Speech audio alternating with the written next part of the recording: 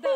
Можно и так. Так, с юмором машину, которая заменяет громоздкий зерноочистительный комбинат, презентуют ее поставщики. Разработка не новая, но вот уже 30 лет без нее не обходится почти ни одно фермерское хозяйство. Выставка технических достижений – возможность для работников сельскохозяйственной отрасли присмотреть эффективных помощников на ферму. Достигать таких урожайных рекордов Татарстану помогает машина. Это местная разработка.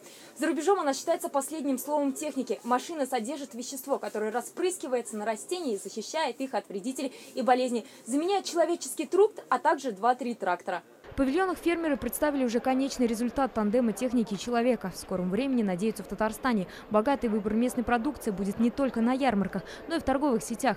В этом помогут агропромышленные комплексы в сельской местности.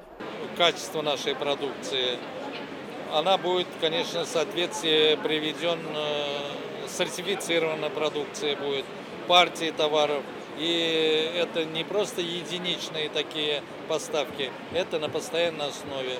То есть агропромышленный парк, у него организационно-правовая форма сельскохозяйственно-потребительский кооператив, он уже будет заключать договора с торговыми сетями. Тем более темпы в сельскохозяйственной отрасли Татарстан снижать не намерен. В прошлом году особенно порадовал урожай свеклы. Более двух миллионов тонн собрали с полей. Это личный рекорд республики. Темпы роста составили 105 процентов.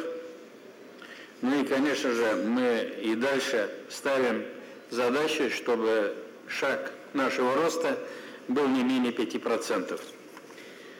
По итогам прошлого года республика лидирует в стране по производству молока, занимает второе место по сбору картофеля, Однако, если Татарстан и дальше планирует удерживать лидерские позиции, то не мешало бы больше внимания уделить зарплатам сельхозработников, посетовал Марат Ахметов. По результатам 2016 года зарплата по отрасли составила 18,7 тысяч рублей. Очень скромный показатель. Мне даже обидно самому э, за это. Производительность труда полтора миллиона рублей. Э, повышая ее уровень в этом году до 2 миллионов рублей, мы сможем преодолеть планку по зарплате в 20 тысяч рублей. Еще одна задача – успешно справиться с весенне-полевыми работами. На пашнях Татарстана 586 тысяч гектаров отдано под озимы. Зиму они пока переносят хорошо, но беспокоит аграриев недостаточное количество влаги в почве. Асу Гусманова, Роман Фенин. Новости Татарстана.